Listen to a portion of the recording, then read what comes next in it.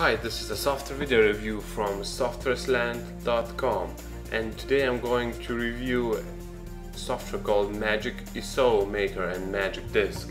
And what this software does is actually it allows you to First of all, when you download ISO files, uh, which are images of discs, or CDs or DVDs, and you can actually explore them with this program. You can extract contents of the ISO files to your disk without burning them to your CD and you can actually mount uh, the image as well so that it appears as a physical disk to Windows and you can actually install software from there and uh, and so on. So if, if I just run Magic uh, Magic off you'll see what it looks like.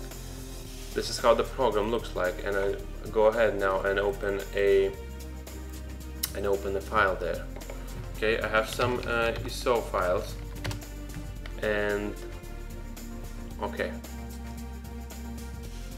What I have here is the Windows 2000 setup disk uh, and as you can see I can browse the inside of the ISO image and just extract the files I want. Let's say if I just want uh, this file readme doc I can just drag it to the desktop and here it is voila. Without burning that uh, image to the CD I can actually I can actually do that.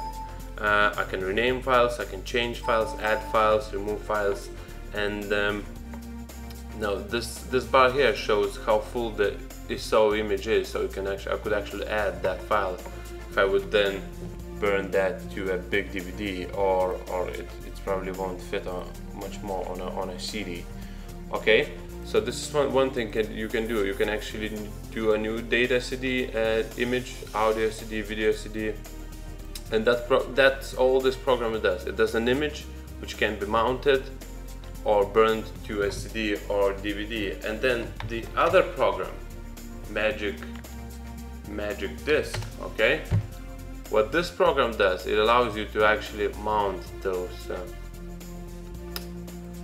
mount all those CDs that you made that you downloaded off of the net and you can compress files you can compress ISO files and you can uh, you can actually decompress them uh, to UIF format. And that's basically it.